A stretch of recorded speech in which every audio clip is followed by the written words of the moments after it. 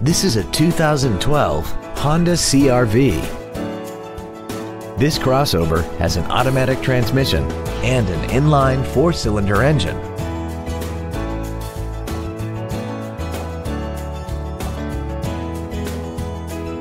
All of the following features are included. A low tire pressure indicator, fog lamps, an anti-lock braking system, aluminum wheels, alloy wheels, and daytime running headlights.